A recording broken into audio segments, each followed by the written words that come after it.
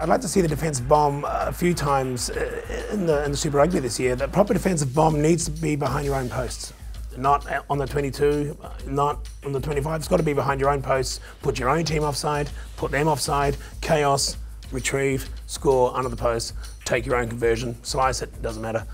That's a defensive bomb.